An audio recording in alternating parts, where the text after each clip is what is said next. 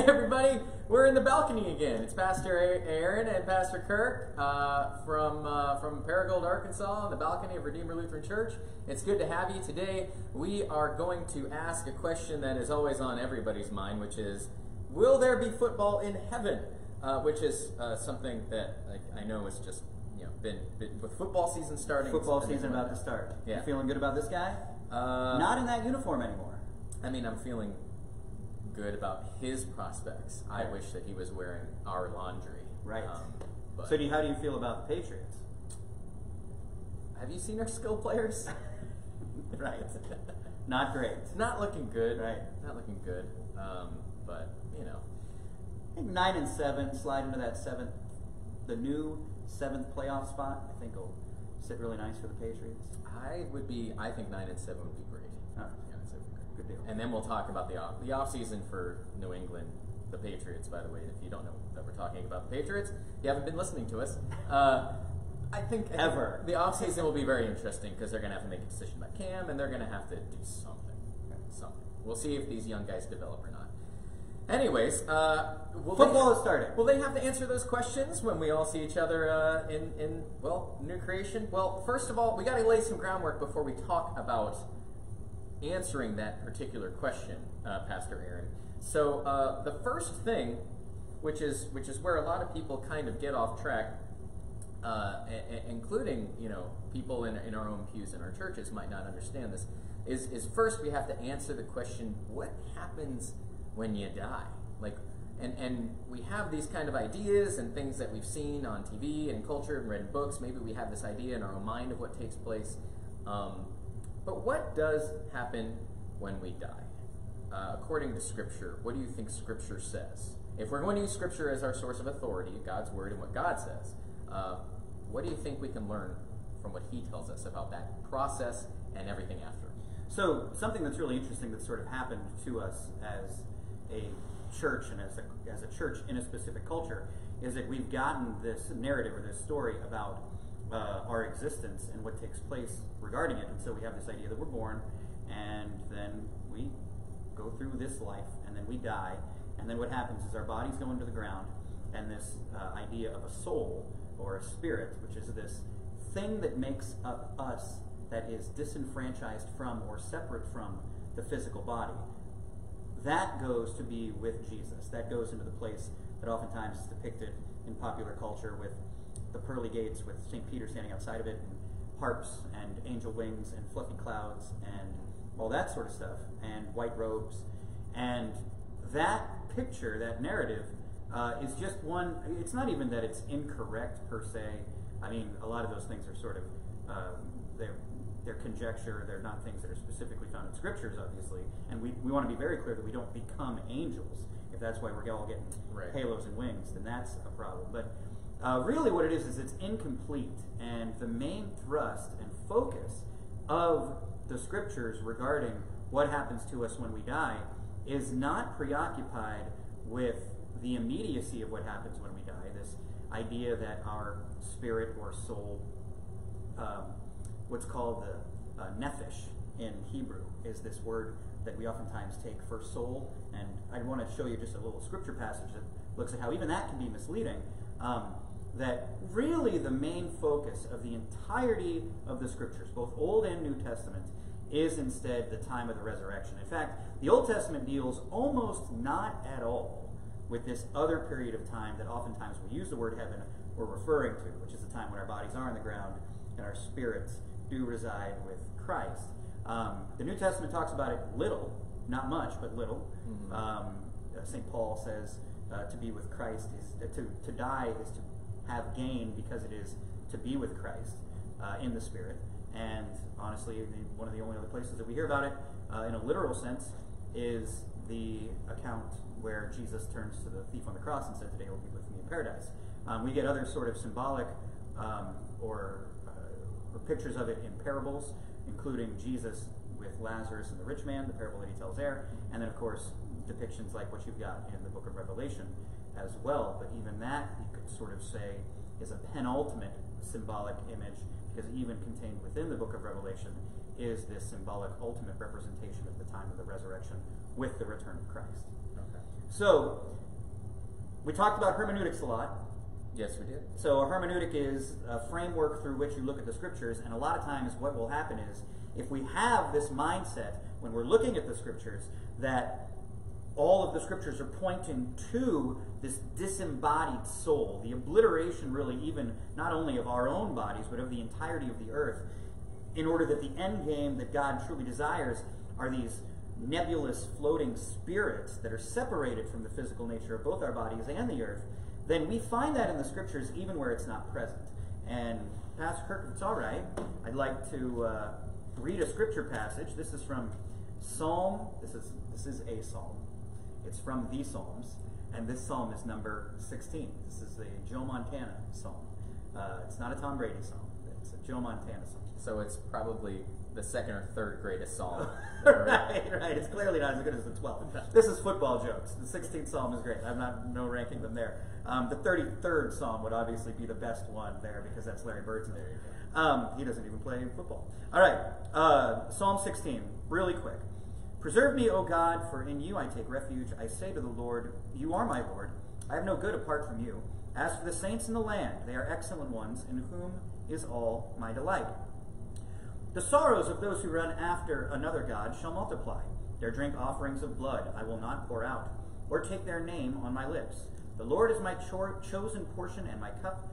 You hold my lot. The lines have fallen for me in pleasant places. Indeed, I have a beautiful inheritance. I bless the Lord who gives me counsel. In the night also my heart instructs me. I have set the Lord always before me, because he is at my right hand. I will not be shaken. Therefore my heart is glad and my whole being rejoices. My flesh also dwells secure. This is the important part. So my flesh also dwells secure. For you will not abandon my soul to Sheol. I actually think a better translation there is the grave. For you will not abandon my soul to the grave, or let your Holy One see corruption. Now, that's David speaking about his own uh, sort of experience that, and his hope that he will not be abandoned, his soul will not be abandoned to the grave, right? I will not, for you will not abandon my Nephesh to the grave, but instead let your Holy One see corruption. Now, if we have a hermeneutic where what we're looking for in the scriptures when we go to the scriptures is this narrative that when we die, our bodies go into the ground and we go into heaven, we can look at Psalm 16, for example, and say to ourselves, you know, that kind of sounds like what I thought I was talking about. That, you know, he's not going to be abandoned to the grave because even though his body goes into the grave, what's going to happen to his spirit? He's going to go be Go with up. Jesus. Right. So that's what this is about. Now, we don't oftentimes get this, but we sometimes get this, where the biblical authors actually interpret Scripture for us. So, fast forward with me, if you will, to the day of Pentecost. And there Peter is preaching a sermon. And everybody's hearing it in their own dialect, because everybody's there, because it's Pentecost, Jewish Yeah. holiday. We went over this in Bible study recently. So people from all over, from the, from the dispersions that happened during the exile. And, and then uh, he, says, he says these words. Uh, Peter does. Uh, he quotes Joel first, right? He says, In the last days I'll pour my spirit, and your sons and your daughters shall prophesy, your young men shall see visions, and your old men shall dream dreams. And then uh, he goes on to say this. Uh, I should have marked this out, and I didn't. so I'm looking for it. It's in Acts chapter 2. I know it is. I just got to find it. Uh, okay, here it is. Um, David says concerning him, Peter says, okay, so uh, backing up just one second. God raised him up, him being Jesus, Peter says, loosing the pangs of death, because it was not possible for him to be held by it, it being death, him being Jesus. For David says concerning him, I saw the Lord always before me, for he is at my right hand, that I may not be shaken. Therefore my heart was glad, and my tongue rejoiced. My flesh also will dwell in hope. For you will not abandon my soul to Hades, here is the word. Again, Sheol in the Old Testament, Hades here. The word in this context means grave. He will not abandon my soul to the grave, or let your Holy One see corruption. You have made known to me the paths of life. You will make me full of gladness with your presence. So Peter there is talking about Jesus' resurrection, showing that when in Psalm 16 it's referring to the fact that God will not abandon his body or corpse, which a lot of times nephesh, this word that means soul, is used to to refer there. In fact, like so, for example, in the Old Testament, the uh, the person who's called a murderer is actually called a nephesh slayer, Ooh. right? Wow. So like that's not a slayer in spirit, like it's literally like a Yeah. like a, a body slayer, right? And uh, in fact, you also hear about how people get corrupted when they come into contact with a nephesh. We don't get come into contact. You don't get corrupted by coming into contact with a soul. You come into contact getting corrupted with a dead body, Right. And even a kidnapping is called like a nephesh napping, right? So That's very interesting. Yes, and, and it's a physical being, and that's what's Right. taking place there. And so Psalm 16 is just one of those examples where you hear David say that he knows that he's going to have his flesh, and that the Lord is not going to abandon him, his his nephesh, his being, to the grave, and that Peter actually uh, maps that out and fleshes that out as referring to Christ. And we know that the story of Christ is actually our story, the story of the physical resurrection being our uh, hope as well. And this is mapped out in places like Romans 6, where we hear that we are united to Jesus through our baptisms. Because of that, we're united with him in the death like his, and we'll be united with him in the resurrection like his. So this changes my perspective completely on what my expectation is and what I'm looking forward to as a person who uh, calls uh, Jesus Christ my Lord. Um, being united to Christ, that means that I'm not just looking for being in His presence in my spirit, but it is, as David writes and as Paul preaches, uh, by the power of the Holy Spirit, and that's probably uh, pretty authoritative there. Um, that the expectation and the Christian hope, and, and hope being an expectation for us, is that just like Jesus, and this is the centerpiece of Scripture, um, we can expect not just our soul to uh, to be in the presence of Christ, but our body joined with our soul, nephesh, restored, um, along with creation, restored. So the implications that this has for us about how we think about this term heaven and, like kind of like what that'll be like and all the, the uh, spirits floating around gets kind of wiped clean by scripture itself is what you're saying And even the idea of the physical, I mean, we have this, you know, we're very, very influenced by this thing that we call Greco Roman culture or Hellenistic culture, or this idea that Socrates and Plato and people like that used to say all the time that the physical is bad, but the spiritual my is body good. is a prison i need Yeah. to escape from Right. kind of stuff yeah and i think a lot of us as we get older we start to kind of think that way too we're like oh man my body breaks down i can't wait until i'm free and my spirit can just thrive and uh, Yeah, and even our, our temptations feel like they're physical ailments, like they're, they're physical yearnings and, and desires and things like that, that also a lot of times we can feel like we'll be free from if we have uh, freedom from this body. Again, you know, you know, Pastor Kirk, when God created creation he thought it was pretty good and he made stuff yeah absolutely. trees, cats, dogs, rocks, footballs. Well, so that therein kind of we can start to dig into this question a little bit because if you change the perception of what's going to take place as us look if we're all spirits and we're all floating around um, it makes sense that the only things that we can kind of think of under that framework is well we can sing uh, we can just kind of you know watch stuff um, we can appreciate things uh, we, we can We can emote. we can be at peace Yeah.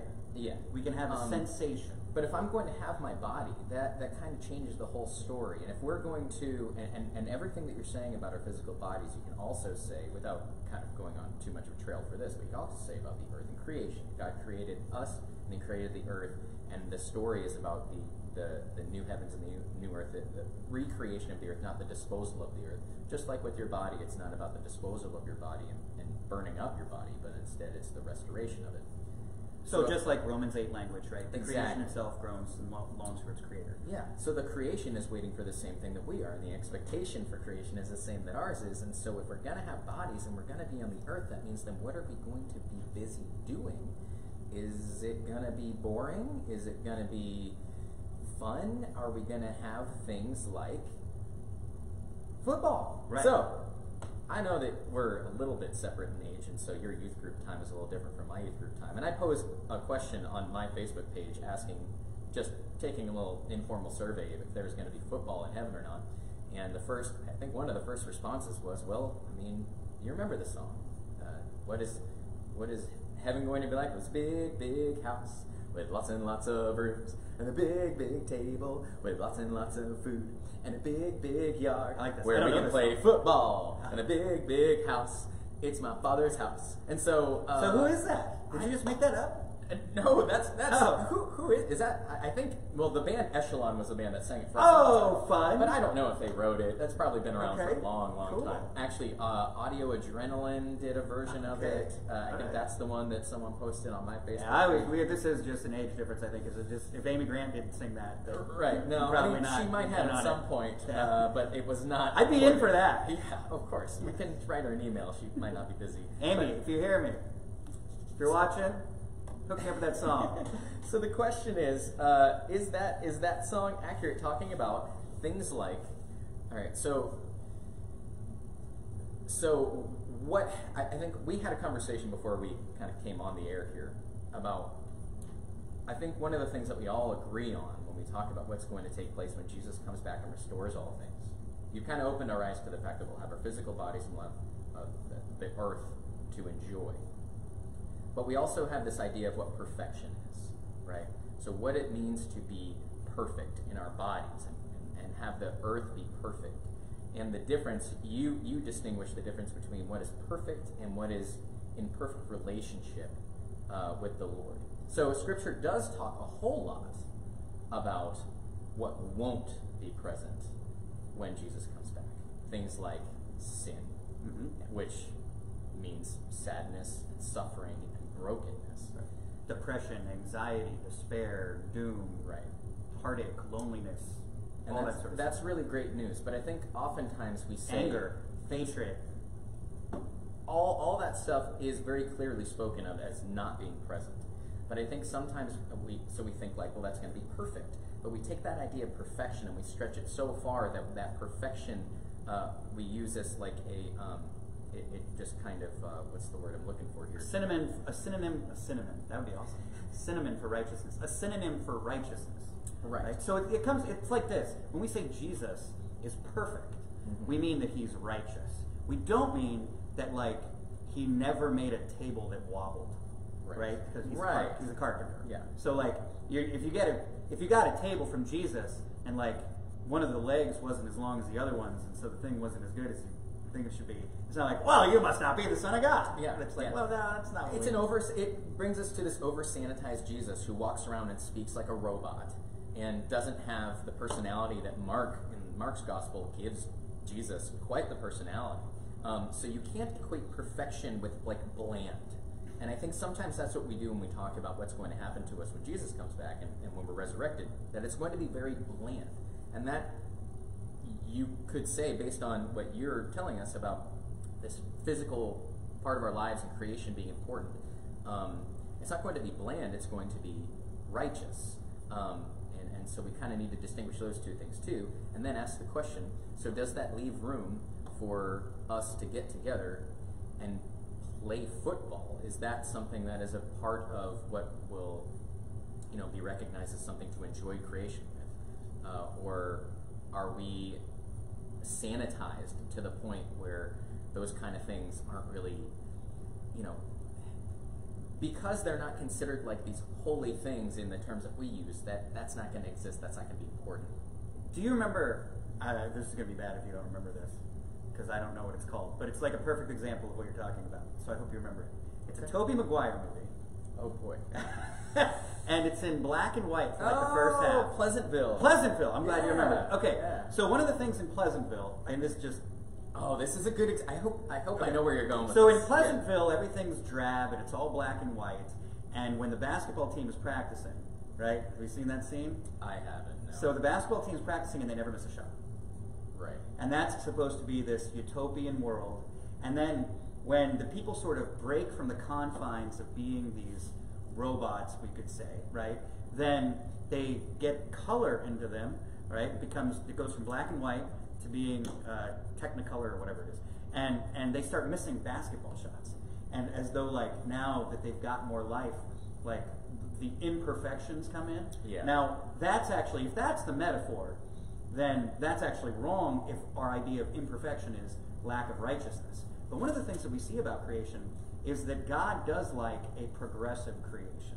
Yeah. Like the idea that God created, right? And then he put humanity, this is kind of what we were talking about before. I think this is a, I, I hope this is a clear way to put this. He, he desired that humanity continue creation Yeah. and gave them the freedom to continue creation within that. And therefore, in the same way, I mean, I, I think that this makes a whole lot of sense. That, you know, when we think of the word perfect, eh, you can say, well, uh, when we think of perfect, we think of like if somebody bowls a 300, 300 a every perfect single time. every Yeah. single time. Look pleasant, right? Never misses a basketball shot. And that's not really what the word perfect means when we're talking about righteousness. It means something else. It, it doesn't mean that you already know everything, that you get every answer right, that you don't ever pick up a golf club and hit a golf ball without getting a hole in one. That's not what it means. What perfect means, and perhaps perfect isn't even the right word, perfect in that in this context that we're using it regarding the new creation means righteous. Right. It means being like Christ regarding the lack of sin and being the creature that we're intended to be. And so that makes everything look really different regarding art, music, all of these things by which people have. I mean, what's the first task that God gives Adam and Eve is one of, of an imprint on creation and of a continuing of creation, of, of progressing of creation through their action by tending to the garden. Right, right. So interaction with creation is something that pleased God before the fall into sin, and it's something that will likely continue to please God when everything is restored. And you know, again, we, we think of things like, um, and, and I don't want to go too far down the rabbit hole, but like, what is beauty and what is to be in the in, in living in, in righteousness. And again to go back to we think of it as just like appreciating things by staring at it like we're going to stare at god's creation all day and just be like wow isn't it great? Yes it's great. Boy i could do this for eternity. Well that's what you're going to do. Good news. um, well, but but you know, God gave us five senses, and He gave us tasks, and and He tells us to live in a relationship with each other, a right relationship with each other, and a right relationship with creation, a right relationship with Him, a righteousness. Um, and that's exactly what Christ did. He lived in, in this perfect relationship, albeit surrounded by sin and and um, and doing something about sin. But that would mean like, look, if we're talking about physical body re- bodily resurrection, to engage in creation. I mean, think about so think about not just football, but like think about baseball and what you like about baseball, or at least what I like about baseball. Um, creation, the interaction with creation that takes place when you play baseball is a beautiful thing.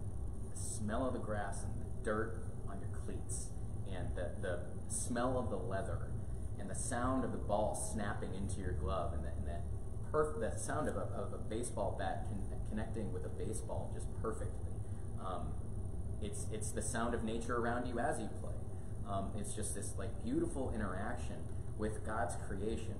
And the thing that's beautiful about baseball wouldn't be, uh, again, the enjoyment of baseball wouldn't be this weird sanitized robotic thing where everybody was swinging the same way and throwing the same way and hitting home runs every pitch or, or striking out everybody. I was going to say, I mean, depending on your perspective of the hitter or the pitcher. Right. This goes to like to the whole like could God create a burrito so big that he could eat it stuff like that. When you start to think of perfection in that way, you run into all those problems. When you see that we're just supposed to enjoy creation and there can be this progression and this improvement and this interaction with creation in a sinless way, um, then it now you're now you don't sound like the Pleasantville Billy Joel song where it's like I'd rather laugh with sinners than cry with saints because sinners and sin sounds more fun. And Pleasantville, where it really goes off the rails, is it's like well, people sinning is really what makes life more fun. It's almost a, a defense of the fall at the garden. Right, and there are people who have written books about like how Eve is the good guy and like freed them from the prison that they were stuck in because they were living under like God as this like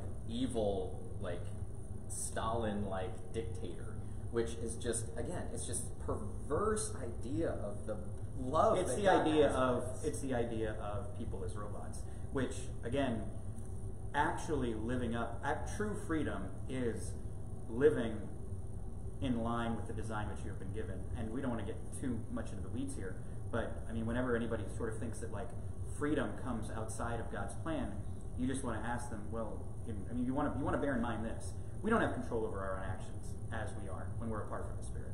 We're slave to sin. Mhm. We we do destructive things. We do things to the creation. We do things to the creation that's out there in the world, to the other people that are our neighbors, who are also creatures, and to ourselves whenever we deviate from that. But I mean, the point about interacting with, uh, I mean, here in northeastern Arkansas, one of the things that people point to all the time regarding this sort of interaction with creation, being able to feel God, or, or really probably even a better way to say it is getting a foretaste of the new creation, which we get all the time here in these Yeah. things that we do, uh, and actually gives sort of a, a better perspective on our life now in light of the resurrection, as opposed to sort of living this life now with the idea that everything's going to be obliterated, including myself, uh, except for the spirit, um, is the idea of people going hunting, right? Mhm. Whenever anybody goes hunting, even if they don't see anything, they generally aren't like, well, I didn't get to see anything. They're generally like, well, it was a great day anyway. Sure. Why?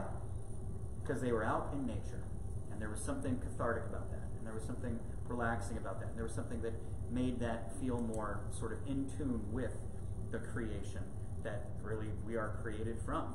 And you don't want look, it's not a substitute for church. Don't go do it on Sunday mornings. Come to church, then go do it some other time. Please, Yes. please. But you can understand why people look at that as sort of this cathartic spiritual experience because what you're doing is you're getting back to something that probably was very, I mean, definitely was very, very common uh, for the entirety of humanity, and just now a lot of times we have to make a concerted effort to get back to, which is interacting with directly with creation. Yeah, and and again, remembering that creation includes our bodies too. So that means like God gave you.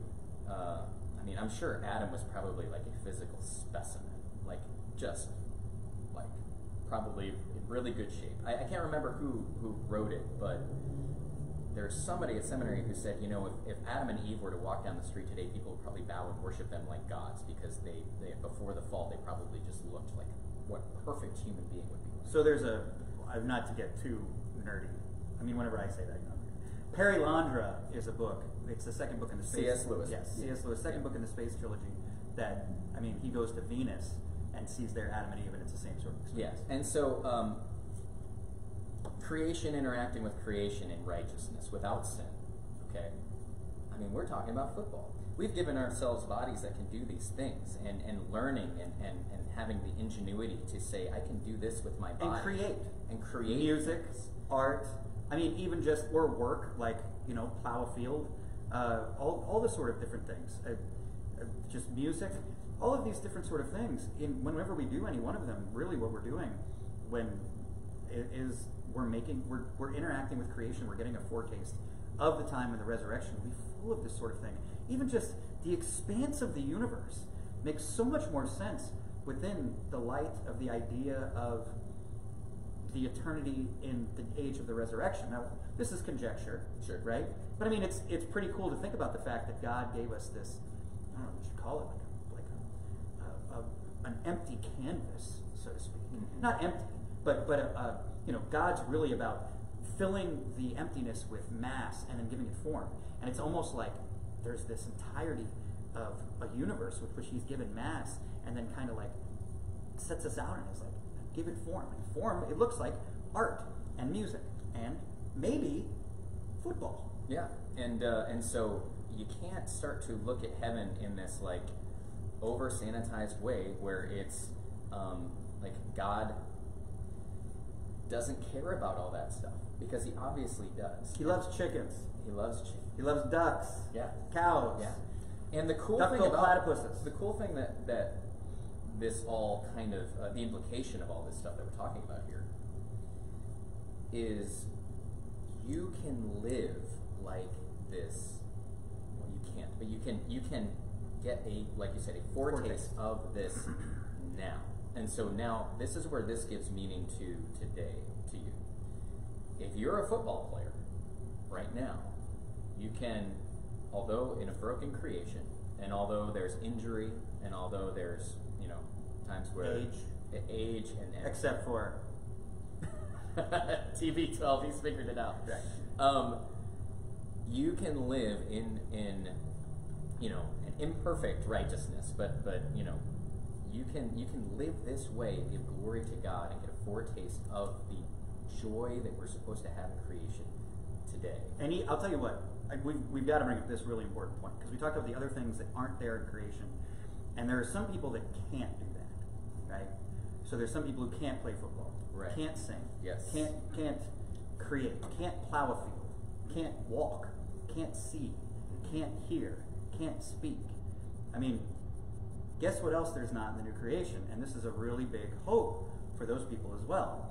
Uh, you know, Jesus says to uh, the disciples of John the Baptist, tell John this the blind see, the deaf hear, the lame walk, Yeah. the mute speak, the dead are raised, and the good news is preached to the poor. Blessed is the one who does not fall away on account of me. Well, that's happening locally to Jesus wherever he's going. When Jesus is the king of all creation, he is the king of all creation now. But when he returns as the king of all creation and reigns over the earth, all that blindness, all the deafness, all the lameness, all the muteness, all those physical ailments that people suffer from are also gone, and they'll come, the biblical language it's used, I love in Malachi, they'll come leaping out of their graves like fawns from a stall. I mean, that's a beautiful image that really should be a great encouragement, I think, to anybody who has any of those physical ailments as well. Absolutely. And uh, for anybody who has lost somebody that you would say um, was before you were ready to lose them. Um, I didn't get to do this, right? I didn't get to do this, they say. yes. Oh, yeah. Look, um, I mean, we've said it many times and in many ways before, but there's no such thing as a life that doesn't get to be fully lived for those who are in Christ. Right. Because there is, look, there's going to be time to make up for the uh, for the earthly life that you may feel that you missed out on. And there's not going to be anybody. And this is the point, one of the points that we're trying to make. There isn't going to be anybody who is sitting in God's new creation, resurrected, body and soul joined together among the faithful, who's going to say, you know what? Not worth it. The stuff that I experienced on the earth was so bad, I would have rather had a good deal on, on during my earthly life than have what I'm seeing and witnessing and, and experiencing now. Um, and that just again is is the reason that we can endure things that are difficult uh, during this earthly life. And it's again, it's the reason that we can we mourn because those things are real and they're hard and they're and they're difficult and we But we do not grieve as those who have no hope. exactly. Um, So let's take a trip down memory lane. uh-oh. The year is 1990, 92, let's say, 92. You're on Pine Hill Road, next to our house in what we call the side yard. Side yard. Yeah.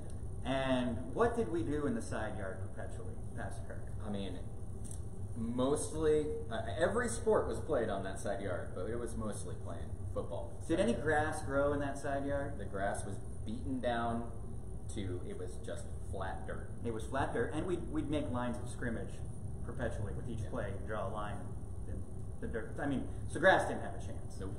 Now, those games were legendary, they were epic.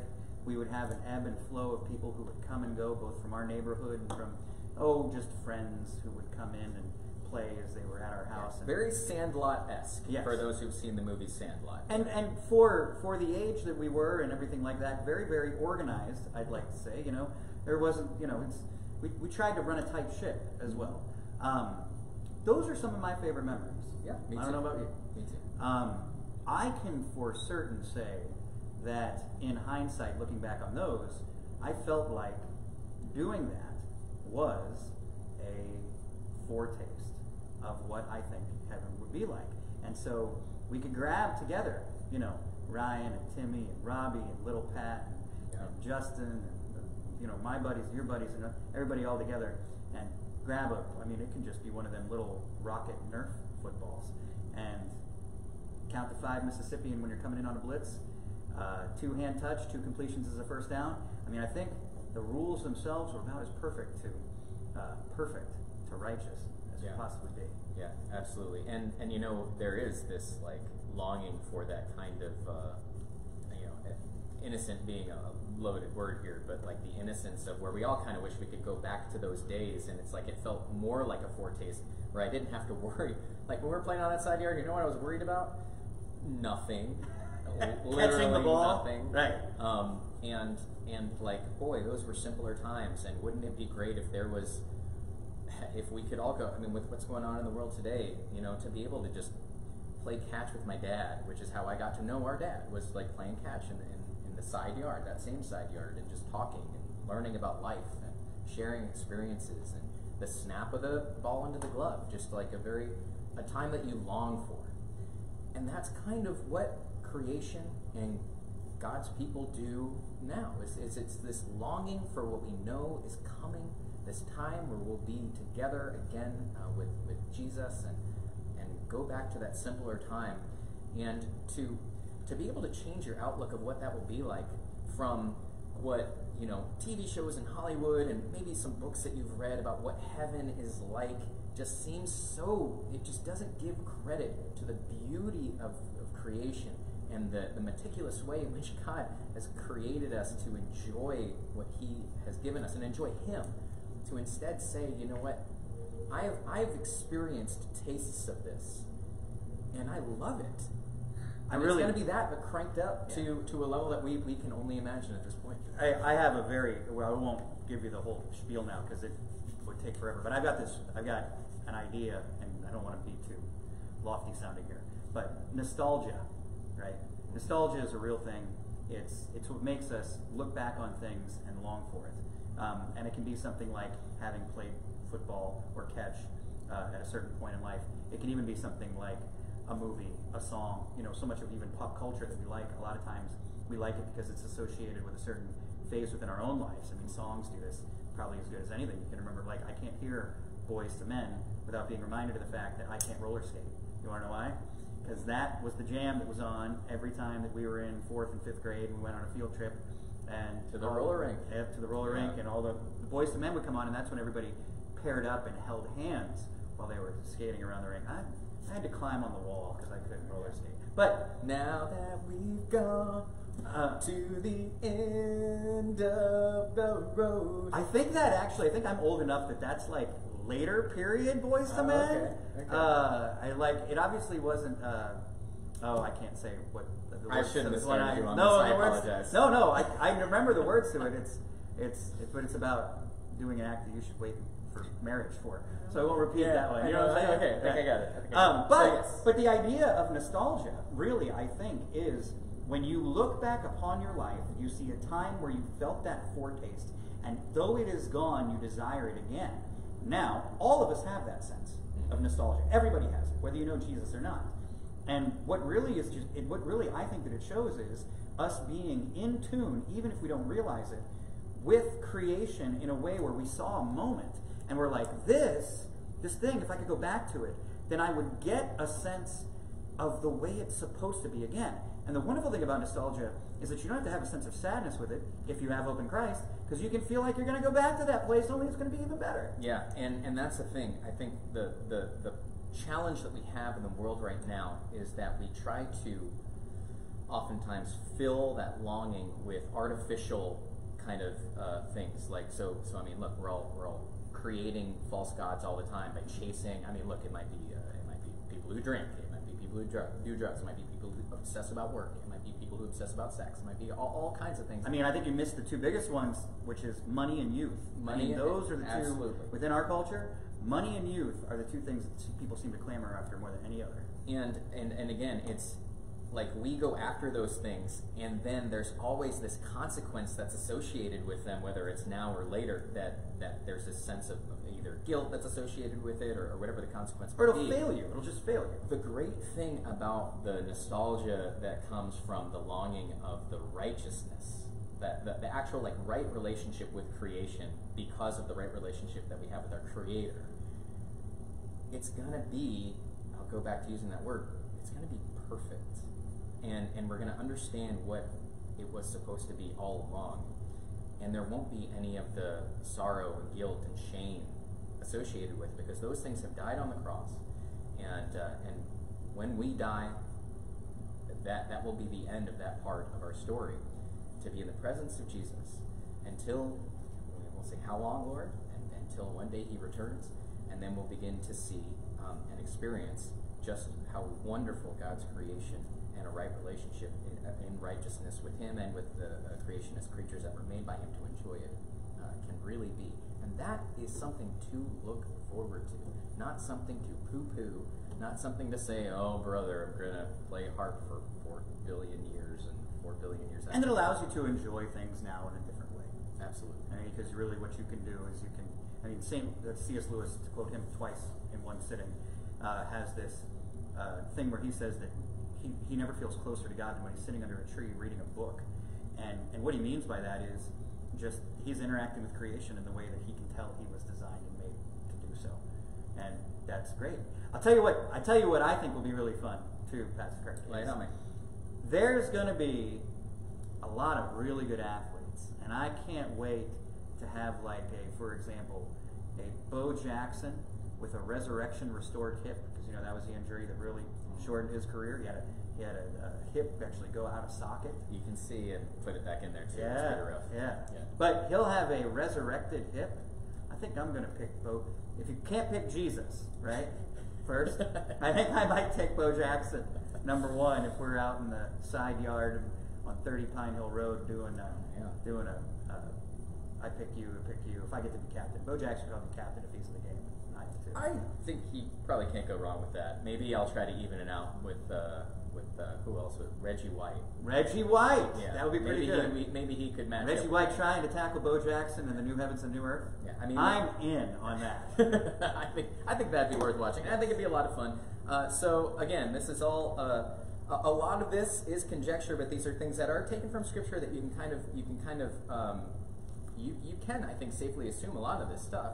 Um, the thing though that we can say with 100% certainty, I think, uh, as Paul says in Romans 8, it's gonna be awesome. It's going to be awesome. It's not gonna be boring. No, It's not gonna be lame. lots of music, lots You're- of animals, You're gonna lots want of to be food. There. Gonna be like a wedding feast. Yes. Um, and weddings are fun. Yes. Weddings are fun. Um, so, again, um, I think I think it's a great reminder for us who are going through a really broken creation right now to to remember to have the hope of restoration of creation, including our own physical bodies. Um, whether you are someone who gets sick or someone who's having suffering of your body of some some kind of uh, way, shape, or form, or you just look around you and you say, "Man, things are really broken, really messed up." That's why we are drawn. One of the many reasons why we're drawn to Christ is because uh, we know that He is the one who can not only restore us, but restore this broken world. And one day that is exactly what He promises to do. It's pretty awesome. Hey, really quick side question that's inappropriate because it's going to take three hours for you to properly answer. All right, I'm right, just I love gonna those. you on the spot. Cheeseburgers. In the new creation? Yeah. I know. Okay. So this is definitely like a whole other subject. but, Yeah. Yeah. Uh, the the lion will have flatted teeth like the calf. Yeah. If there's one thing that probably is not there, and it's conjecture, It's a bummer. you're probably not. You're not. You're gonna be fine. I'm gonna You're be like- fine. Adam It's just Eve- hard for my sinful mind to think that. gonna So I mean, fine. you know, when you look at creation, right? I mean, just the way the creation was originally intended to be made, uh, you're going to see the fact that Adam and Eve are eating fruit from the trees, and the animals are eating plants. So, and then nobody's eating each other. Yeah. Now we get into so this is where we really don't know. You talk about conjecture. What do you do with in John 21, John chapter 21? Um, the resurrected Jesus Mhm. eats fish. Eats fish. So, So you're saying this back into ah, Kurt Cobain may have had it right. Oh boy. Okay. It's okay to eat fish because they don't have any feelings. Okay. That's not in the Bible. That's You can do a lot with fish. Yes. You can do a lot. With Well, I don't. I'm, I'm not sure you're going to get to eat the fish too, but Jesus did post resurrection. Look, there are a lot of these things. I mean, people always want to know: Are we naked? I mean, I don't think so. I don't know. Uh, you're not going to worry about it either way. Um, people want to know how old am I? I think my son is trying to live in, in Oh, post-resurrection getting a foretaste of the kingdom yes. to come, right? Yes. That's, um, how old are we going to be too? I mean, it's sort of a question that's just I got some theories, but we'll save that for another time. right. So a lot of people will say things like, you know, 33, because that's the age. Larry Bird. Jesus when he- Because of Larry Bird. I mean, you know where I was going. right? What But- is the perfect human specimen? well, we all know. How old was Larry Bird in '86? And we're all gonna have a, a caterpillar mustache yes. and a mullet too. Oh, I'm in. Yeah. That's yes. Awesome, Yes. awesome. Um, there are more questions that go with this that, that we can discuss another time, like you know, human relationships and things like that. Those are all real, but but but the cool Do I get to play Xbox? Yeah. So the baseline though that we want to work with and to think about these things and to look forward to these things is again to remember what our actual hope is in. It's not to, to so get rid of the idea of what you know the movie Patrick Swayze and Ghost is doing. That's not a hopeful situation. That is not a pleasant thing to, to reach out and look forward to. Um, just sitting and be, becoming an angel and, and just singing all day um, for billions of years doesn't sound like a really fun time. Becoming all the same person and the same robot type person, all that stuff. Instead, build your build your hopeful expectation on again a, a great place to start might be that nostalgia and be like, you know, there's there's things in this world that are beautiful and wonderful and created and gifts of God. The Well, Transformers animated movie, Transformers the animated movie. not the Michael Bay movies, not the live action movie. Those will definitely not no, be in God's name. But I'll tell you what. But I hope Michael Bay's there. Oh yeah, of course. Well, we hope everybody's there. Yeah. I just don't want his movies there. Now, Transformers the animated movie. It's a piece of art. I mean, whenever I look back on that, you know, the first Ninja Turtles movie, the first live action one. See, these are the kind of conversations that you can have when you have the expectation of a, of a restored. Absolutely, it'll be great. All right. Well, hey, uh, Pastor Aaron, any closing thoughts? Um, practice your football. You'll get a head start in the new new resurrection. I'm telling you, Sandlot football. I'm coming, coming for all y'all. He, Pastor Aaron, was pretty pretty good back when we were on that We side had, we had a good, we had a good crew. We had a good crew. Something about having kids, it takes a little bit away from your hand-eye coordination. I'm there now. Don't watch me at say, oh, you're good at football. Throw a football. You'll be. I'm not picking you in the, in the resurrection. All right. Well, hey, everybody. Thanks for joining us for this conversation. Uh, we hope that you join us next time as we continue to unpack the wonders of what God has given us through uh, through His Word, through His sacraments, through Himself, which is really great. So uh, we'll end as we always do, reminding you that Jesus loves you. So do we. Bye, everybody. Bye.